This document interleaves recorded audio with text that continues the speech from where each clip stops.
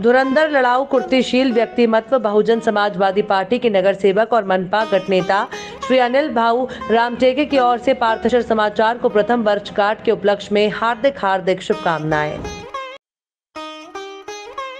समाज सेवक चंदू भाऊ भगतकर की ओर से पार्थशर समाचार को पहली वर्षगांठ के उपलक्ष्य में ढेरों बधाइयाँ। चंद्रपुर ज़िले में नए उद्योग स्थापित करने के लिए सांसद धानोरकर की पहल पर मंगलवार 15 फरवरी को मुंबई में सांसद शरद पवार और मंत्री सुभाष देसाई, विधायक Pratibha Dhanorkar, Vidarbha Vidarbha M I D C अध्यक्ष मधुसूदन रंगठा की उपस्थिति में बैठक ली गई। इस समय इलेक्ट्रिक ऑटोमोबाइल प्लांट और टेक्सटाइल पार्क स्थापित करने के प्रयासों को सकारात्मक प्रतिक्रिया मिली है। इससे पहले भी सांसद धानोरकर ने ज़िले में टेक्सटाइल पार्क स्थापित करने की मांग लोकसभा में की थी। बैठक के माध्यम से सांसद धानोरकर के प्रयास को सफलता प्राप्त होती दिख रही है।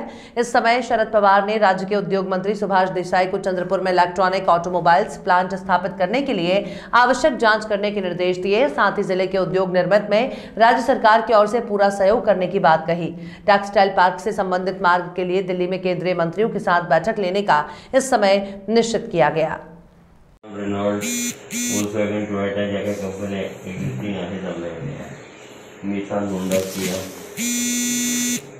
काही देशामध्ये काही कंपन्यांनी इलेक्ट्रिक व्हेकल स्टार्टअप केला आहे त्यांनी पण नाव आहे पत्रिका मिळतात म्हणतात राज्य सरकारची या क्षेत्रामध्ये काय पॉलिसी आहे आणि काय सवलती देतात या संबंधित आमचे रिसर्च काय आहे.